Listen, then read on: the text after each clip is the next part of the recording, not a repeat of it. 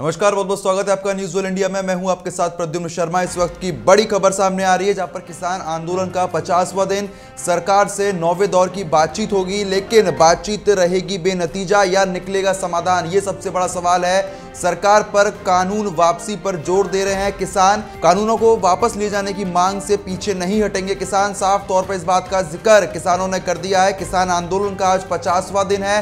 सरकार से नौवे दौर की ये बातचीत होगी, लेकिन सबसे बड़ा सवाल ये है, क्या इस बातचीत से हल निकलेगा या फिर बेनतीजा ये बातचीत रहेगी? ऐसे में सरकार पर कानून वापसी पर लगातार किसान ज़ोर दे रहे हैं, लेकिन ऐसे में अब ये देखने वाली बात हो जाएगी कि किस तरीके से इस वार्ता के बाद कोई समाधान निकलता है या नहीं। इस वक्त की बड़ी और अहम खबर न्यूज़ वर्ल्ड इंडिया अब तक पहुँचा रहा है, जहाँ पचासवा दिन है आज।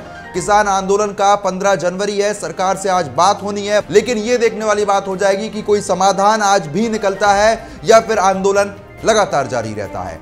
नौवे दौर की बातचीत से पहले किसान नेताओं ने कहा है कि वे सरकार के साथ नौवे चरण की बातचीत में हिस्सा लेने हैं, लेकिन उन्हें इस बातचीत से ज़्यादा उम्मीद नहीं है, क्योंकि वे इन कानूनों को वापस लिए जाने से कम किसी भी फैसले के लिए राज़ी नहीं होंगे।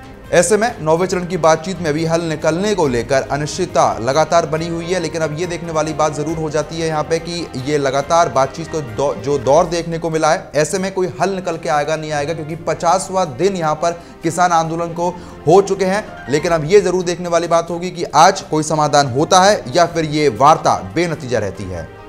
सुप्रीम कोर्ट ने मंगलवार को कृषि कानूनों के खिलाफ डाली गई याचिकाओं पर सुनवाई के बाद इन पर चर्चा के लिए एक समिति का गठन किया था।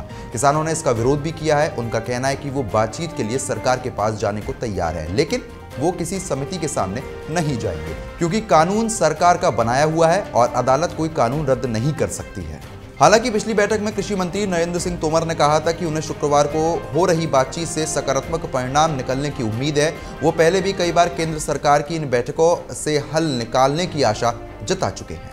हो सकता है कि किसान संगठनों की सरकार के साथ आज आखिरी बैठक हो, क्योंकि सुप्रीम कोर्ट की समिति की पहली बैठक 19 जनवरी को होने की संभावना है। ये समिति इन कानून पर चर्चा करने के बाद कोर्ट को अपनी रिपोर्ट सौंपेगी।